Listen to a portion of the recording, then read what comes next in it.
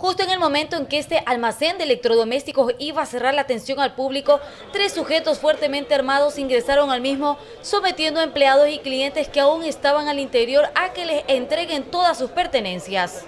Llegaron armados y dijeron todos al piso y si no le disparamos, entonces tiraron, que tirarlos al piso. Eh, proceden a sacar armas de fuego, todos ellos con armas de fuego, y asaltan este local. Rompen las vitrinas interiores, principalmente para sustraerse teléfonos celulares. El hecho se registró cerca de las 8 de la noche en las calles Rocafuerte y Colón.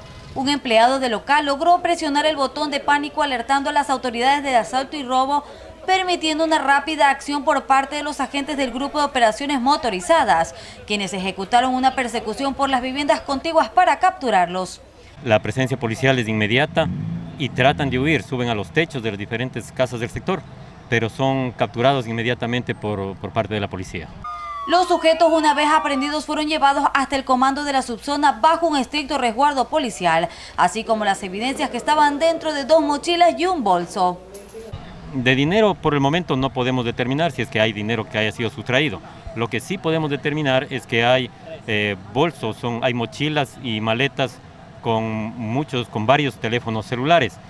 Cabe mencionar que uno de los sospechosos había salido hace un mes de prisión cumpliendo una pena de 10 años por asesinato. Los victimarios están a la espera de la audiencia de formulación de cargos para determinar su responsabilidad. Marta Contento, Noticiero TV Oro.